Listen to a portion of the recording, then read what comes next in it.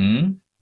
Vi ska blanda ihop dem nu då. De har blandat redan. Så den här, för A, så har vi 25 har vi 5, multiplicerar med 5, multiplicerar med x, multiplicerar med x. För 15 har vi 5, multiplicerar med 3, multiplicerar med x.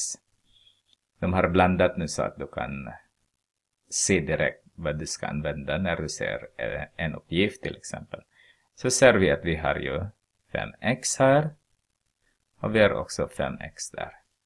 Så för A har vi 25 x upphöjt till 2 så tar vi 15x. Gemensam faktor är ju 5x. Och sen den som är kvar det är bara 5x kvar där.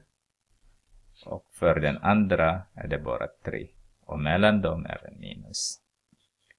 För B så har vi 4x är därmed 16x upphöjt till 2.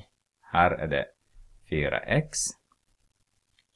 multiplicerar med x menade jag. Här är det 4 multiplicerar med 4 multiplicerar med x multiplicerar med x. Så ser vi att det finns 4x där och 4x där. Det finns inget mer kvar så skriver vi multiplicerar med 1 där. Så att det blir inte 0. Några skriver 0. Men det är inte sant. Det ska vara 1 där. Så 4x är den som vi ska bryta ut. Eller utanför parentesen har vi 1 där. Och sen har vi 4x kvar för andra termen. Och den plus däremellan. C. Och den här är konjugatregeln redan. Den här A har vi eh, 4x. Alltså 4 upphöjt till 2 är 16. Och sen B är ju 3. Så har vi 16x upphöjt till 2 så tar vi 9 är lika med